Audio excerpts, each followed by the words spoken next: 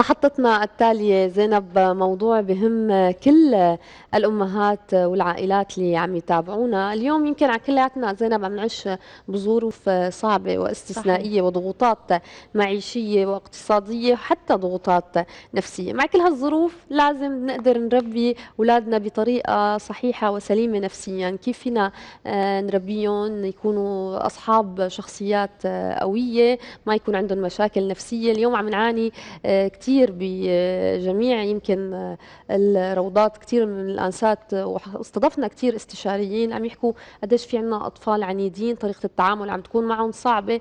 كل هالأمور رح نحكي عنها أكثر مع رينا أيوب استشارية الطفولة المبكرة. يسعد صباحك وأهلا وسهلا فيك يسعد صباحك أهلا وسهلا فيكم يسعد صباحك يا رينا. يعني كل مرة موضوع جديد. اليوم نحكي عن العنادية أو العناد عند الأطفال.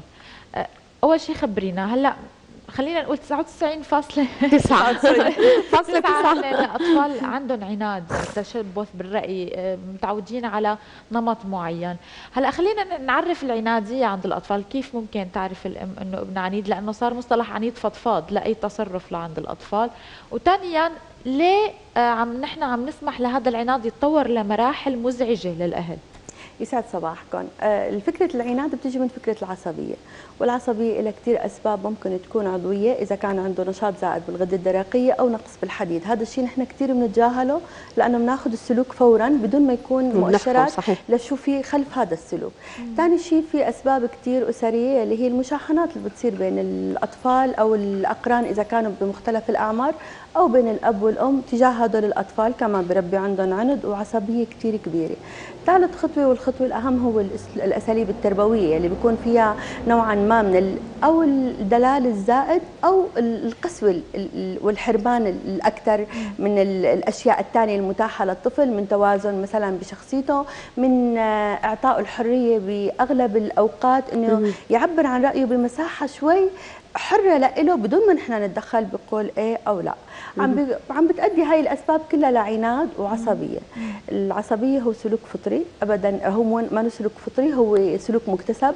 ابدا ما فطري لكن ممكن تكون المورثات إلى 25% نتيجته. 75% بتيجي عن طريق البيئة ونحن سببها. يعني مم. ابدا الطفل ما بيخلق عنيد أو بيخلق عصبي.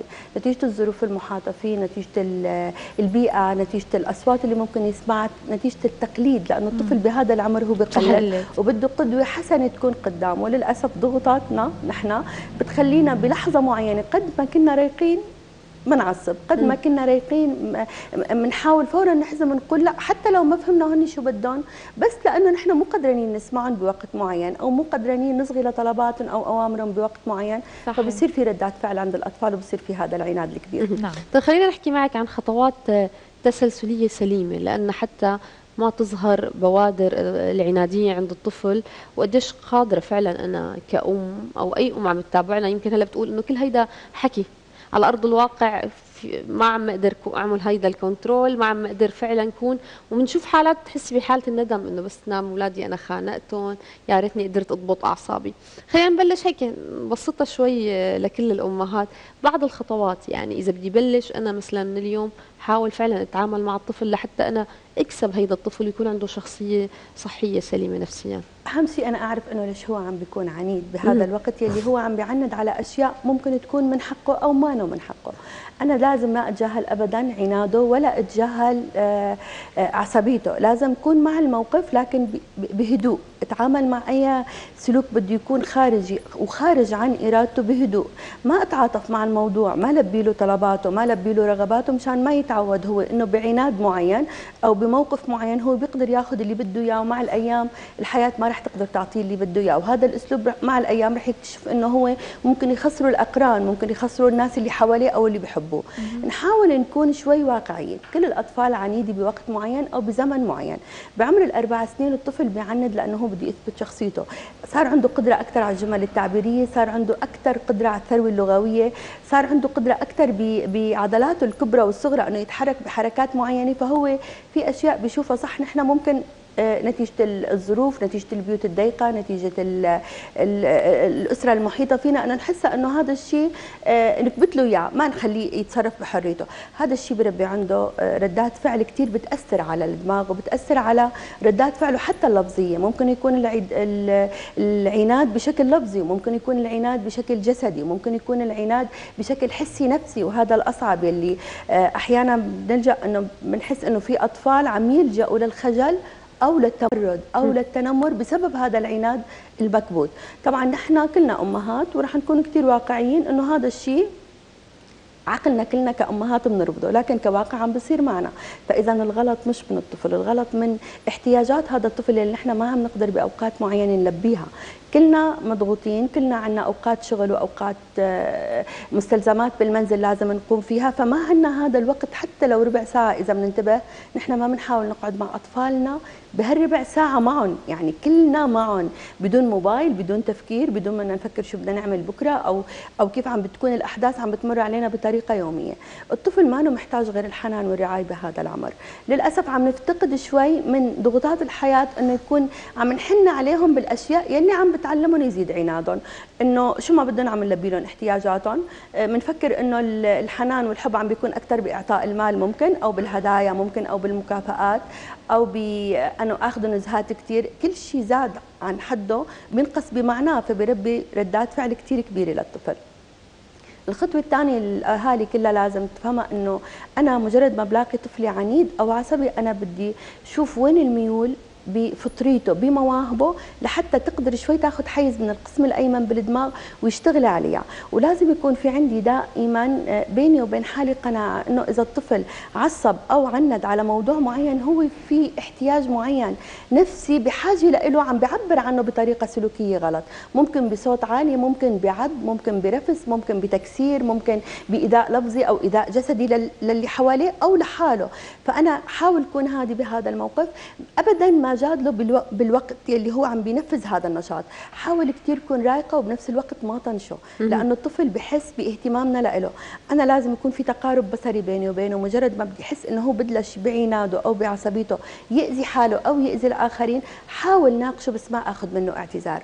حاول افهمه بدون ما أطلب منه إنه هو آه، يحكي لي عن غضبه. حاول شوي اتماشى مع غضبه لوقت إنه هو ما ما يأذي وما يأذي الآخرين بعدين بيروق بهدي بيكون عنده أكثر من موهبة وأهم شيء تحت عمر 8 سنين لحتى نربي شخصية كثير حلوة وبناءة. نكتشف وين فطرية الطفل بالمواهب. لكل طفل في بالفطرة موهبة. غير الهواية اللي نحن من بنلحقها بالتقليد إنه هلأ درجة الموسيقى كلنا بنسجل أولادنا موسيقى. درج آه، نمط معين فكري بنسجل أولادنا كله فيه. درجة لغة معينة لازم كل الأطفال تكون فيه. هذا الشيء عم بيأثر كثير على الموهبة. عم بخلي الهواية لمجرد وقت معين وزمن معين تتماشى مع الظروف وتتماشى مع البيئة. لكن بهذا الوقت نحن عم نكون عم نقتل موهبة الطفل اللي هي مع الأيام. رح تغنيه ورح تعالجه نفسيا من كثير مواقف. ممكن تكون فطرته العزف ممكن تكون فطرته رياضية ممكن تكون فطرته فنية. الفطره بهاي الأشياء بالموهبة بتخفف كثير من حدة العناد والعصبية. طيب يمكن آه، عم تحكي على خطوات مهمة كثير المفروض يتبعوها الأهل.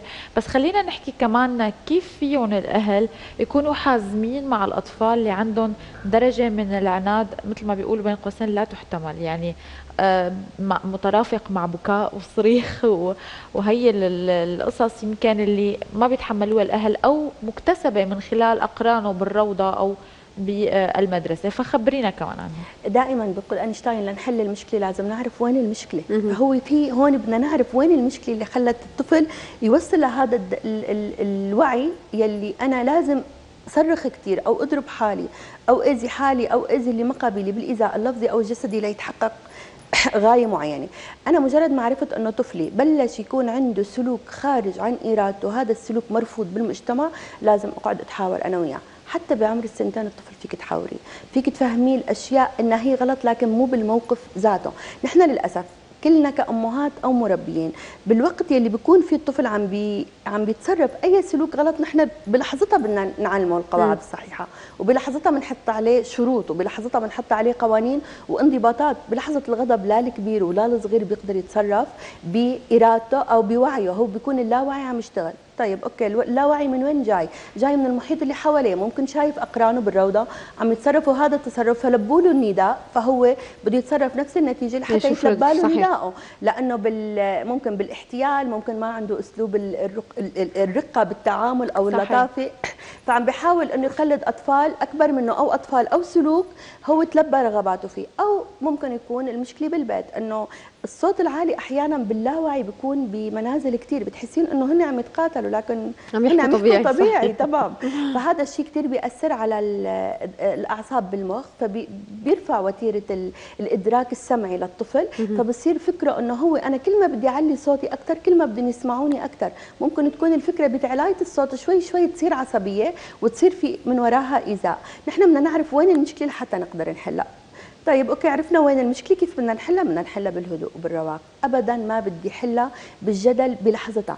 ابدا ما بدي أفرض عليه قوانين. ابدا ما بدي أطلب منه اعتذار. ولا بدي جادله بغضبه. أنا إذا بدي جادله بجادله بعد الغضب. وبالوقت المستحسن اللي أنا بدي جادله فيه لازم يكون في موهبة.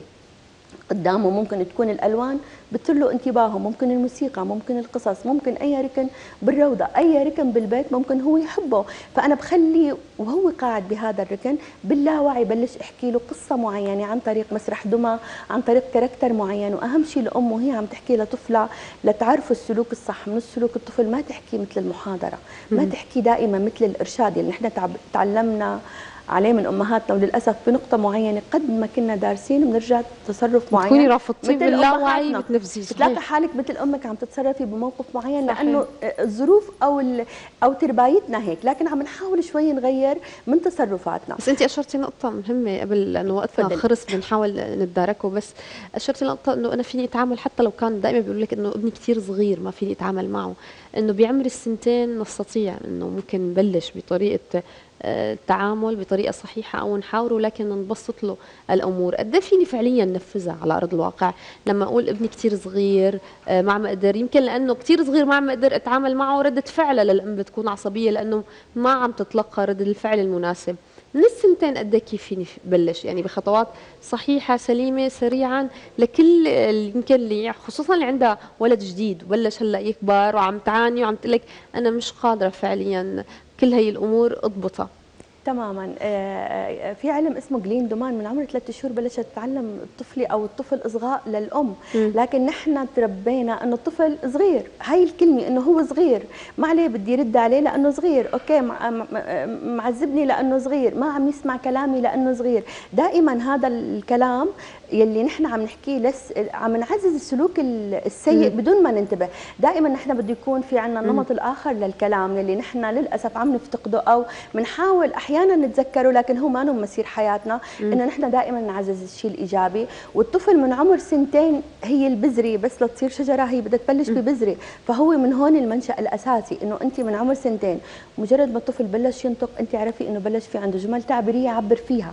فأنا مجرد ما بلش يعبر أوكي أنا لك كان هذا الطفل صار عندي صغيلي وهو فهمان علي. حتى لو ما كان عنده جمل تعبيرية كثيرة لكن هو بكلمه ممكن يقدر يستوعب علي ويفهم علي. نعم يعني رينا معلومات كثير مهمة بنتشكرك وإن شاء الله بتنحل هالقصة العناد آخر شيء. إن شاء الله يا شكرا لك. شكرا لك وسعيدين بوجودك. إن شاء الله بمحطات قادمة بنحكي بطريقة أو بتفصيل أكثر عن الموضوع. شكرا كثير لك. شكرا لكم يعطيكم العافية.